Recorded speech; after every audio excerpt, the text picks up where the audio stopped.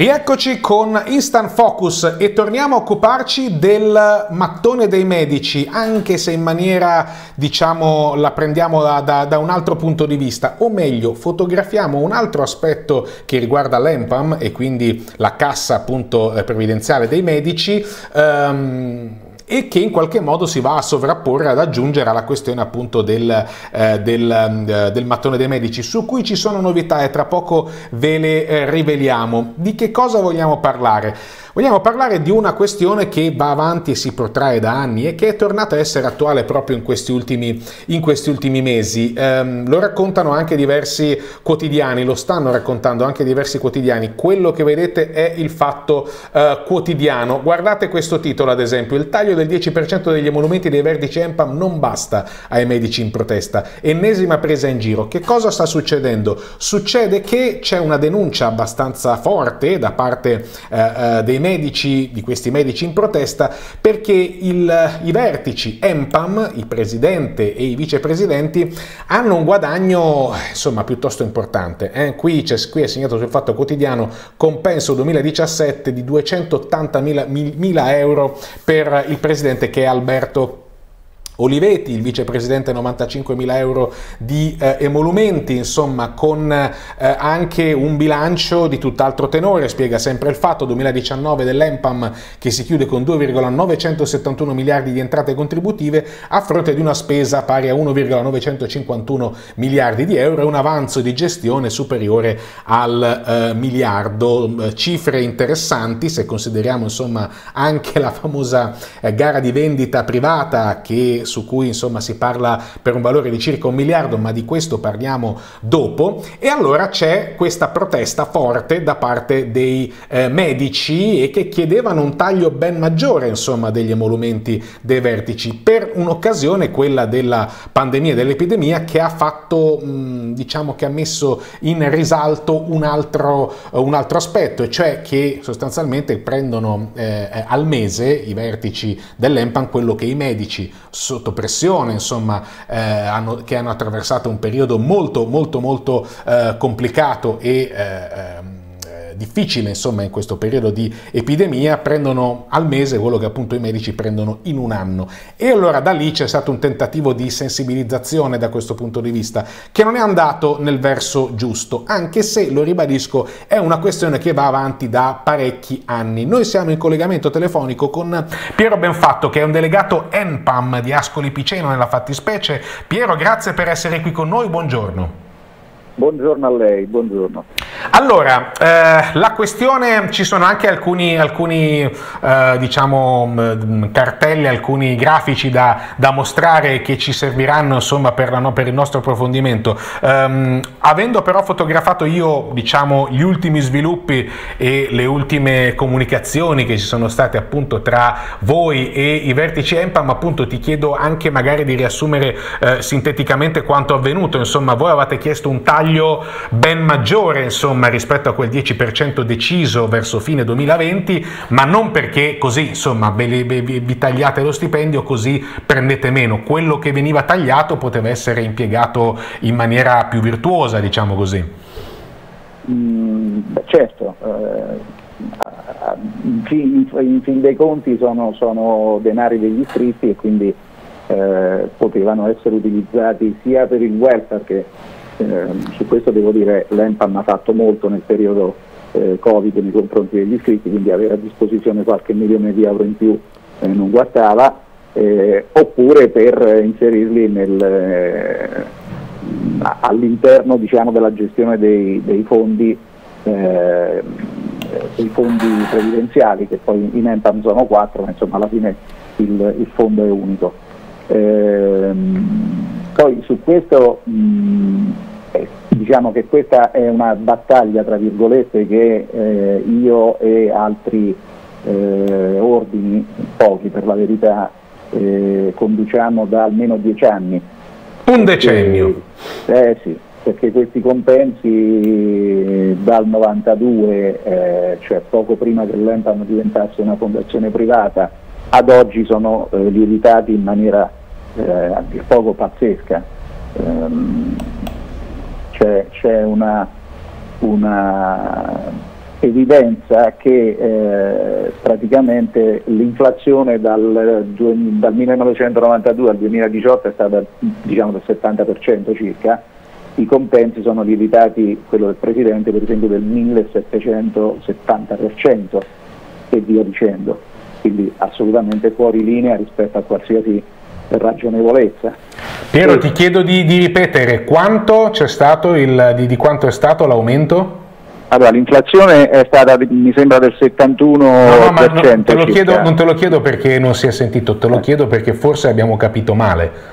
no, no, se avete, si è capito, lo ripeto, eh, l'aumento del, del Presidente è stato del 1769-70% al netto dell'inflazione, insomma ovviamente in base a, quanto, a quello che cambia in dieci anni a livello di, eh, eh, dei prezzi al consumo, eccetera, eccetera, ovviamente. Sì, sì però insomma parliamo di, di, di una cifra esorbitante, gli ultimi emolumenti accreditati eh, diciamo, al Presidente eh, prima di questa riduzione del 10% erano di circa a spanne eh, diciamo 1000 euro più, 1000 euro meno, intorno ai 650 mila euro l'anno. Eh, devo dire che la proposta che avevo fatto io come ordine di Ascoli Piceno insieme a quelli di Campobasso, eh, Ferrari, Ferrari e Piacenza, sì. era eh, del tutto congrua perché avevamo proposto per il Presidente uno stipendio uguale a quello di Mattarella, del Presidente della Repubblica, di 240 mila euro l'anno, sì. che sono comunque 20 mila euro al mese e un costo complessivo di tutti gli organi eh, dell'ente, quindi CDA, revisori dei conti e poi se, se, vuoi, se vuole ci arriveremo eh, anche Empam Real Estate che è la partecipata che gestisce eh, gli immobili dell'Empam che andava a quasi, va, si avvicina a quasi a 4 milioni di euro l'anno, portare tutto a 1 milione e 200 mila euro. Il risparmio erano circa eh, no, differenza 2 milioni e 8 e questi 2 milioni e 8 erano certamente impiegabili in altre eh, attività di welfare o per le pensioni dell'EMPAN. Ribadiamo che questi ehm, 2 milioni e passa si parla sempre di soldi no, dei contribuenti, quindi dei medici che versano il eh, quanto dovuto per quanto riguarda poi appunto il fondo, il fondo pensionistico. Avevate chiesto un taglio del 60% e che è stato diciamo ignorato eh, eh e c'è stata una riduzione al 10%, quindi non è che non vi hanno proprio ascoltato ma hanno detto vabbè insomma eh, ehm, ce lo tagliamo del 10% e, e, e pace fatta. Tra i, mm, eh, diciamo, i documenti che abbiamo a disposizione c'è eh, quello... Mm, Vediamolo, lo vado a recuperare in questo modo. Ecco qua, questo è il, um, è, diciamo il cartello, insomma, è il documento che riguarda il bilancio al 31-12-2020 per quanto riguarda il CDA e non soltanto del, dell'EMPAM. Sì, eh, è visibile, io in questo momento non ho il collegamento video, comunque eh, come si può vedere il Presidente e i due vicepresidenti prendono un totale di 800 mila euro, no? eh, 727 il collegio sindacale, il CDA eccetera, 800, insomma il totale porta a 399, poi aggiunte altre spesette che ci sono sotto, il totale effettivo diventa 3 milioni 318 mila e, e, e rotti euro ai quali vanno aggiunti altri quasi 600.000 del eh, eh, CDA, revisori, eh, vigilanza eccetera, di Empam Real Estate, che è la società in house eh, dell'Empam che gestisce gli immobili e quindi il totale si avvicina a quei famosi 4 milioni eh, di cui, sta, di cui stavamo parlando. Eccolo qua, che vediamo anche appunto attraverso le spese per gli organi statuari e collegiali. Il grafico che abbiamo visto prima riguardava sostanzialmente la, gli importi eh, che invece sono i costi per la, per la, governance, aziendale, insomma, che riguarda quindi l'EMPAN, l'onorario di 60.000 e il totale di 92.000 per il presidente, consiglieri 243.000, poi insomma c'è da fare tutta una serie di somme e questo, che... Questo credo che sia quello di EMPAM Real Estate, perché mh, le cifre cifre di, di EMPAM sono più alte. 60.000 euro è Allora questo è real estate, sì, chiedo scusa. Allora, perfetto. di EMPAM Real Estate, sì. Ok, ok, ok. E che appunto poi vanno a sommarsi alle, certo. alle cifre che, eh, che, abbiamo già Dicevamo, detto certo. e che appunto poi sono, si possono vedere anche attraverso questo questo cartello. Insomma, eh, poi sono tutti dati che eh, arrivano ehm, eh, anche attraverso insomma, i vari fondi immobiliari, cioè ci sono tante, no, tante, ehm, voci. tante voci che vanno a sommare, quindi insomma non è che semplicemente è uno stipendio che arriva semplicemente dal, dall'EMPAM e basta, insomma ci sono tante voci. No, e... no per esempio ci sono i fondi immobiliari partecipati Eccoli. solo da EMPAM che eh, danno eh, delle, degli stipendi al, per esempio al Presidente di quasi 150 mila euro l'anno, eh, mi sembra sui 70 mila al Vicepresidente eh, e poi giù giù agli altri, insomma comunque eh, questi si sommano alle, alle, alle cifre che, che, che vengono riportate in bilancio. Poi nella pagina EMPAM si trovano anche queste voci, eh, non so se avete modo di, di, di, far vedere come i fondi immobiliari di EMPAM eh, paghino delle perdende importanti, eh, però quello, quello, è, insomma, il discorso è, è, che a fronte di una situazione retributiva dei medici che eh, in Italia è forse una delle più basse d'Europa, eh, gli stipendi di chi amministra la cassa comune ci sembrano oggettivamente spropositati.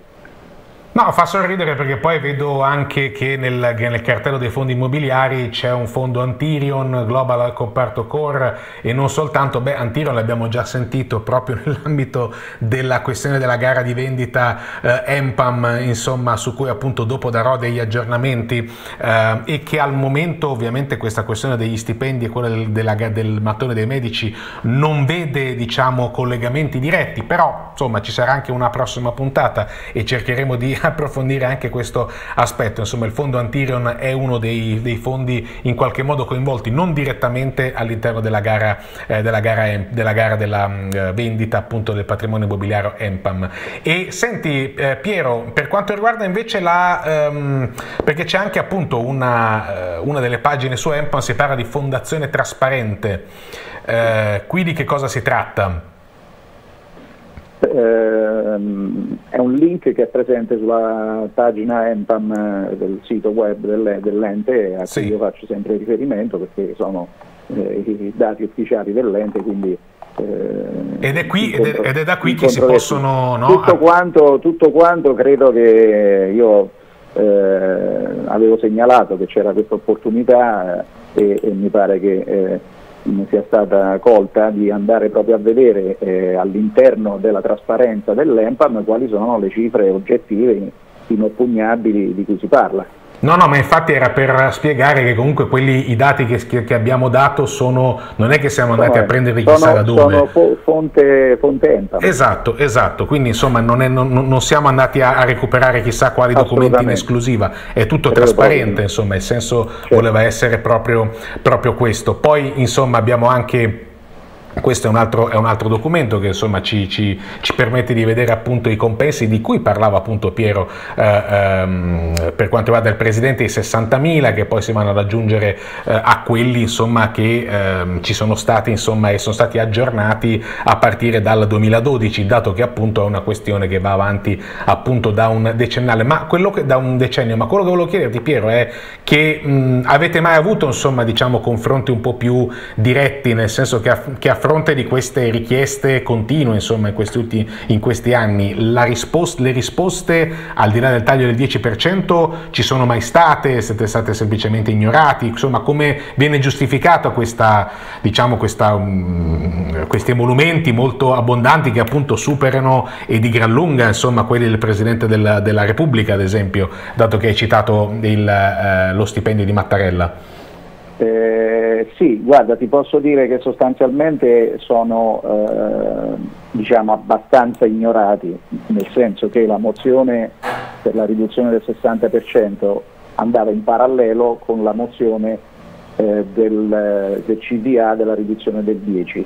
Chiaramente nel momento in cui si vota, c'è un parlamentino dell'EMPAM di 100, quasi 80 persone, se viene eh, approvata prima e presentata prima la mozione di riduzione del 10, e passa come è passata, questa automaticamente per, per motivi civilistici di cui non voglio, eh, eh, non so nemmeno sì. eh, citare, eh, esclude le altre, per cui ce n'erano altre due, la, la, la, diciamo, la nostra e un'altra ancora che chiedevano riduzione del 20, non sono state nemmeno poste a votazione ma eh, lei, diciamo, l'Empano come giustifica queste cose? Eh, sul fatto che eh, è una società che sta sul mercato e quindi gestisce mh, parecchio denaro, insomma parliamo di un patrimonio di eh, oltre 24 miliardi di euro e quindi eh, il Presidente soprattutto dice che eh, corre dei rischi nel gestire questo patrimonio eccetera. Ammettiamo pure che sia così, anche se Empam ha un investment advisor e un risk advisor che si occupano specificamente degli investimenti molto ben pagati e il Presidente è molto ben assicurato per i problemi relativi alla gestione, così come tutto il CBA. Eh, quindi eh, la differenza importante però è che non si può rapportare lo stipendio di eh, un Presidente di cassa previdenziale con quello di un, eh, un, un CEO, no? un, un, amministratore delegato di una società di gestione del risparmio. Certo. Perché?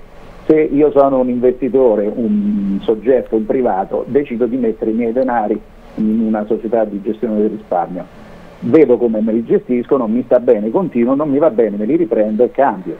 Oppure la società decide che l'amministratore delegato non è bravo e lo manda via tutto questo in EMPAM non è possibile, la contribuzione è obbligatoria, sì. eh, i rendimenti, adesso c'è stato il Covid, ma insomma comunque nell'ultimo bilancio consuntivo parliamo di un 1,6% netto del patrimonio, eh, intendiamoci del patrimonio, mobiliare e immobiliare, perché poi entra molto ancora molto denaro fresco de, delle, dei contributi previdenziali. Il rendimento del patrimonio mobiliare e immobiliare netto è stato dell'1,6%, che non è una cosa fantastica, ma il, il, il, lo stakeholder, cioè il, medico, non può dire vabbè signori non mi piace come gestite i miei soldi, me li ridate e vado da un'altra parte, è obbligato a contribuire. Allora l'ente è una fondazione privata ma ha una funzione pubblica e quindi il rapporto dovrebbe essere con gli stipendi, crediamo, del pubblico. Certo, appunto, avevamo proposto il massimo livello, cioè l'equivalente del Presidente della Repubblica, e se può essere comprensibile che il Presidente Empano prenda 240 mila euro l'anno, tutto compreso, non si capisce poi perché bisogna pagare due vicepresidenti, eh, in totale il CDA di Empam eh, ha 16 persone, quello di Empam Real Estate 9, eh, altri 6 sono revisori di conti dei due, insomma stipendiamo 31 persone per gestire queste due entità se facciamo un paragone con una, una, una società come Stellantis, no? la fusione tra sì. FCA e, e Peugeot e, e, Chrysler che ha nove persone, ci rendiamo conto che c'è qualcosa che non, che non quadra, cioè, c'è un numero estremamente ridondante di amministratori mh, mm, No, no, beh, ma è, è, chiaro e che va ulteriormente a, a, rendere ancora più nitida la fotografia che parte anche solo dalla uh, questione che appunto i vertici di, questa, di questo ente uh, prendano al mese quello che i medici insomma prendono, um, prendono all'anno, insomma, beh, poi... Sì, sì. Sì. Questa ulteriore riflessione che hai fatto è anche molto più, diciamo, ancora più efficace perché poi, insomma, eh, la nostra emittente parla soprattutto di economia e di finanza e quindi hai fatto una citazione perfetta, insomma, quella di Stellantis che ha visto una fusione tra due colossi del, eh, del mercato automobilistico in Europa e che punta a diventare, diventerà il quarto quinto eh, al mondo, insomma, se le cose dovessero andare per il verso giusto e la situazione è quella che ci hai quella che ci hai eh, spiegato. Um, per, prima, di, prima, di, salutarci ti chiedo, perché il tempo insomma, a nostra disposizione è quasi terminato, ti chiedo se ci saranno nuove, perché insomma mi pare di capire che diciamo, l'ultimo contatto e l'ultimo risultato ottenuto è stato il famoso taglio del 10%, del 10% che ho mostrato anche attraverso il Fatto Quotidiano e che è stato in qualche modo commentato da, eh, ehm, anche da diverse pagine Facebook, ci sono con di, di, diverse decine di migliaia di iscritti come una presa in giro. Eh, diciamo la prossima mossa quale può essere se ci sarà? Eh, questa è una domanda a cui io non so rispondere mm. perché purtroppo questo, questi compensi sono stati approvati e varranno per i prossimi cinque anni, quindi okay. dal 2021 al 2025 questo è a meno di una rivoluzione copernicana eh, all'interno dell'ente che non è nel, nel, nella, nella, nella, ragionevole eh, prospettiva delle cose, eh, eh, così è, così rimarrà. Eh, d'altronde il sistema del parlamentino EMPAM è strutturato su gruppi di sindacati maggioritari della medicina generale e anche lì c'è un problema poi di rappresentanza che se vuoi, parler- di cui, se vuoi perché è strettamente connesso con questa cosa, parleremo in una eventuale successiva eh, sì. occasione. E questo blocco ovviamente vota eh, quello che decide il vertice, eh, perché al vertice siedono eh, appunto i vertici dei sindacati maggioritari del, del, della medicina generale e quindi non se ne scappa. Non c'è una maggioranza-minoranza sostanzialmente, c'è solo una, una grande maggioranza. Okay. E le poche voci che eh, si levano a segnalare questa cosa eh, sì, eh, segnalano e rimangono lì. Chiaro e volentieri ci torneremo anche su quest'altro fronte. Io intanto ringrazio Piero Benfatto che con pazienza anche ci Infatti, ha spiegato insomma qual è la situazione e il caso che lo vedete anche nel, nel, titolo di questi super stipendi che ovviamente essendo un ente privato può fare quel che vuole ma a fronte di evidenze insomma che stor- fanno storcere un po' il naso e non soltanto si può in qualche modo rendere ancora più virtuoso. Dunque grazie Piero e buon lavoro alla prossima. Prego, grazie altrettanto a te e alla tua redazione. Prima di salutarci, regia, siamo un po' in ritardo, ma me ne rendo conto, vi chiedo scusa, però sul fronte del mattone la novità è che Apollo è il fondo che dovrebbe, dovrebbe aver vinto il, um, la gara, insomma la gara di vendita con una cifra, non è ufficiale, eh, sia chiaro, ma quanto, secondo quanto emerge, insomma con circa 800 milioni, quindi 200 milioni e passa um, in meno rispetto a quanto ci si poteva attendere perché ribadiamo insomma l'abbiamo ricordato nelle scorse puntate la richiesta era di oltre un miliardo quantomeno, quantomeno la stima attesa da parte di Empam era oltre un miliardo sarebbe di 800 milioni la cifra con cui il fondo Apollo si è aggiudicato l'asta per, eh, per gli immobili scusate, dell'ente previdenziale. Ehm, così è stata superata la concorrenza ehm, di altri fondi che c'era appunto Bain Prelios eh, GVM Dea Capital l'Elsa Fra, insomma un portafoglio real estate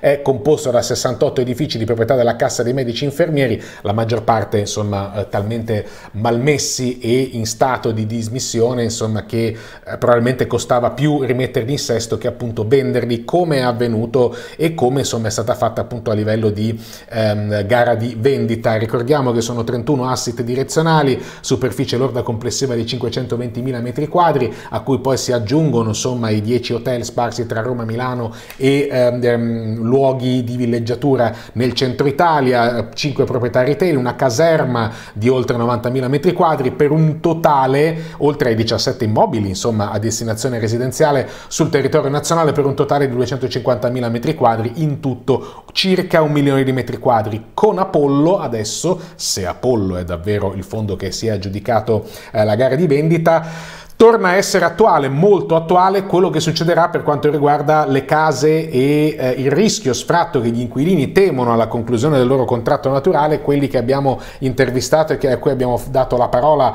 eh, nelle puntate precedenti, perché si tratta di un migliaio di famiglie che rischiano, se il fondo Apollo a questo punto, se ha vinto la gara di vendita, eh, dovesse eh, far esaurire i contratti e poi eh, mettere mm, a destinare ad altri utilizzi questi immobili eh, a destinazione residenziale, insomma che cosa succede? C'è una bomba sociale che rischia di esplodere, eh, Milano lo sa, dato che molti, eh, molte famiglie si trovano a Milano e provincia, sindaco, al sindaco Sala abbiamo, abbiamo, già lanciato un appello attraverso anche il giornalista, il giornalista Francesco Floris che per primo in qualche modo ha denunciato e ha sentito puzza di bruciato, come, come a dire eh, eh, questa, questa gara di vendita può prevedere e può comportare determinate stranezze, insomma, sia a livello di fondi interessati, ma soprattutto per quanto riguarda il destino di queste, di queste migliaia di eh, famiglie che ora eh, non devono fare altro che aspettare l'ufficialità, se è vero appunto quanto riportato eh, da, da, da, da, questi rumor, insomma anche di stampa, che parlano di Apollo eh, come fondo che sia andato ad aggiudicare il mattone di Empam. Noi dedicheremo la prossima puntata a fare un po' il punto, il bilancio di queste prime cinque eh, approfondimenti che abbiamo fatto sul caso del mattone del, dei medici dell'Empam, che peraltro, come avete visto, c'è anche un'ulteriore storia eh, particolare che dura da un decennio, che ci ha raccontato Piero Benfatto, e cioè che sostanzialmente c'è eh, una enorme, forse eccessiva eh, differenza tra insomma, gli stipendi dei medici eh, mai così sotto pressione e così in una fase eh, delicata della loro professione in questo anno e i vertici che, eh, come dire, in un mese prendono quanto eh, i medici prendono in un anno. Eh, situazione che era stata anche denunciata da Mediaset, ehm, lo, lo, lo, lo, dico per correttezza, qualche mese fa ha provato Mediaset ad avvicinarsi al eh, presidente Alberto Oliveti, eh, il quale però ha detto questo... Mh, questi, questi, questo stipendio, insomma, questi monumenti, questo compenso che ricevo e che riceviamo sono, eh, giust, sono giustificati dal fatto che il nostro è un lavoro molto molto eh, difficile e che, che determina insomma diverse pressioni ogni giorno. Questo è in linea di massima quello che è stato risposto ai colleghi. Io vi ringrazio per averci seguito, chiedo scusa alla regia per aver sforato di qualche minuto, ehm, vi lascio con il resto della programmazione di eh, Le Fonti TV e poi alle 14.30 Alexander Giorgeva con i suoi suoi ospiti e i suoi approfondimenti.